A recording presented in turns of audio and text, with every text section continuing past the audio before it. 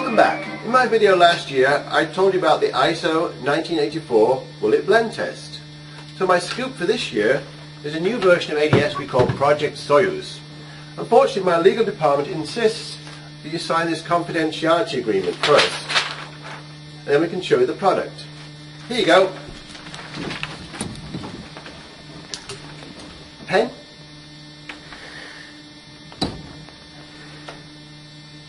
Thanks.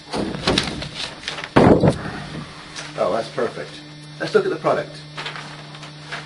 Now, as you know, the current version of ADS has all these wonderful components and simulators and uh, layout artwork and electromagnetic simulators.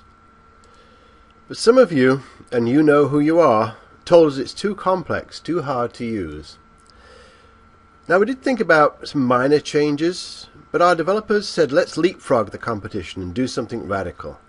So here it is. In the new version of ADS we've gotten rid of all the buttons and complexity and we just have this one Do My Job button. Simply click on the button. In a few seconds the simulation runs, it prints the results, but there's more. Here's a feature that your chief financial officer will really love. Because it doesn't take a PhD just to press a button. ADS also prints this pink slip for you. Wow! Now you've probably noticed there's a couple of big problems with this new innovation. One is you get fired, you lose your home, and you get thrown into poverty. But that's not the biggest problem. No, not from my point of view in any case. The biggest problem from my point of view is the product's so compelling that it sells itself. And Agilent's fired the entire marketing department, including me. So I have to move on. But it's not all bad news. I was able to get another job with the good folks at DesignCon. It's not as prestigious as my previous job, but it'll do for now.